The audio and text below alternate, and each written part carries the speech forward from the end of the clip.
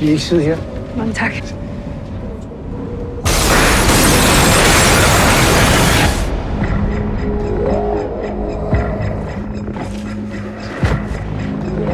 Jeg var med samme tog som din kone og datter.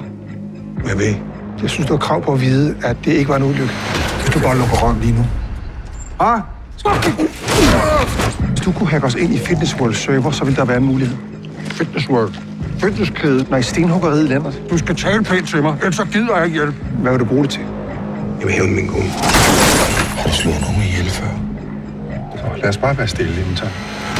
Jeg vil bede om at finde alt, hvad I kan for rockergruppen Riders of Justice. Hvor mange medlemmer de har. Hvad de er straffet for. Hvad de er mistænkt for. Navne, adresser. Er det noget, I kan, uden at ligge spor?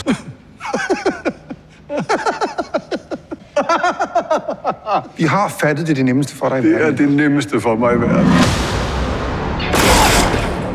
Hvad det sker for? Ja, ja, det er jo fordi, han... I er psykolog, ikke? Det må man sige, vi er. Nej, tak.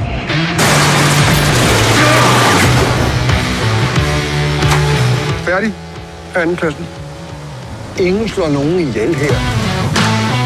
Jeg tror nogle gange, at folk med problemer har det med at finde sammen. Min mor er psykolog og er til rådighed, hvis endelig er.